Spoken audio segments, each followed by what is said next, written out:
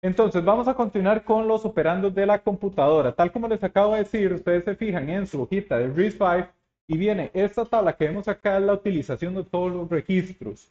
En el curso vamos a utilizar los 32 eh, registros de enteros. Estos que vemos acá son registros de punto flotante, pero eh, estos los vamos a utilizar en etapas más avanzadas de la carrera. Para lo que es el curso vamos a utilizar los registros de enteros.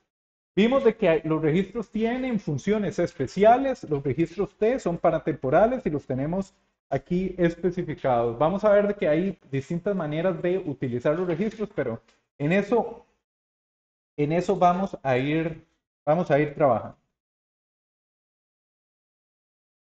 Sin embargo, vimos, ahora hablé con José, una diferencia de lo que tenemos en T. ¿Cuántas variables podemos definir, José? Todas las que queramos y cantidad de registros. Tenemos que empezar a hacer uso de la memoria para guardar variables. Y se tienen que eh, desarrollar algoritmos de optimización para cargar a los registros de manera óptima las variables que vayamos a utilizar para no perder rendimiento, porque ir a memoria RAM es lento. Entonces, tenemos, tenemos esa característica por ahí.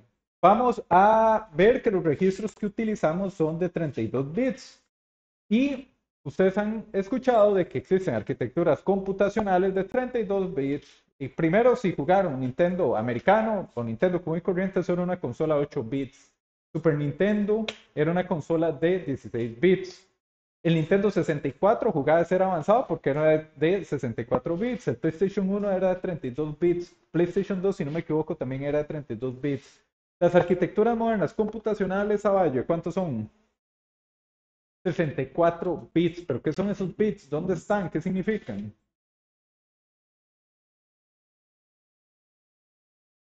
Es tamaño de los registros, bus de datos, dígase ALU, y a veces hasta la cantidad de registros. En este caso, la arquitectura que estamos viendo en clase es de 32 bits, la cual es suficientemente adecuada para sistemas empotrados.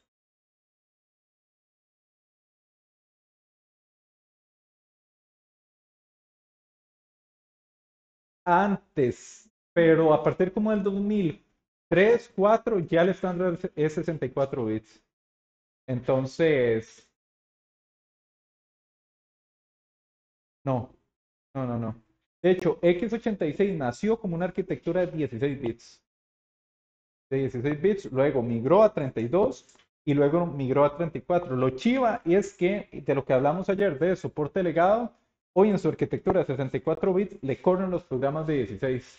Entonces, eh, tiene, tiene esa característica que fue lo que mencionamos de soporte legado, que fue una ventaja competitiva. Pero actualmente es de 64 bits. Acá en el curso 32 bits.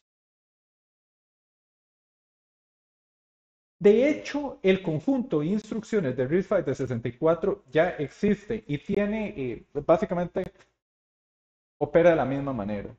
Lo hacemos acá de 32 para poder visualizarlo eh, mejor durante la clase, pero ya está de 64. Sí, me sigue, Elisa. ¿Cómo lo ves? Fascinante.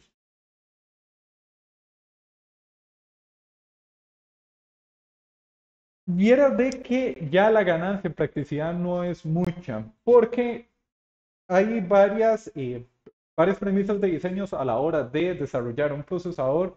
Una de ellas es entre más pequeño, más rápido.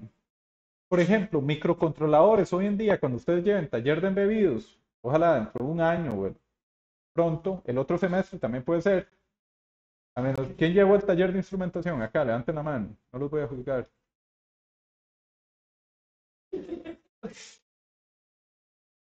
Muy bien.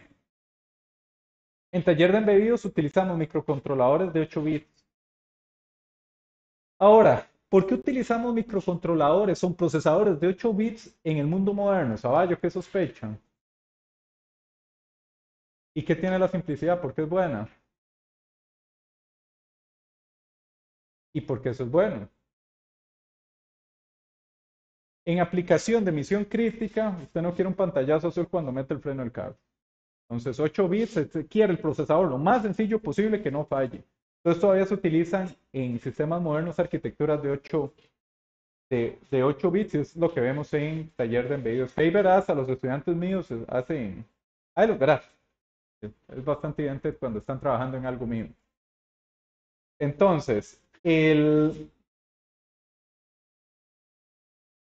otra de las cosas eh, de las premisas de diseño es que entre más pequeño es más rápido.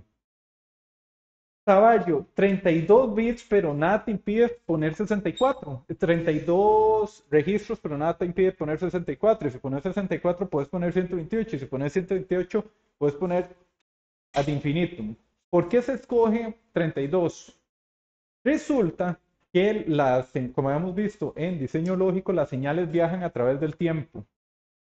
Y entre mayor cantidad de registros, las señales tienen que ir a lugares más alejados y que impacta el rendimiento.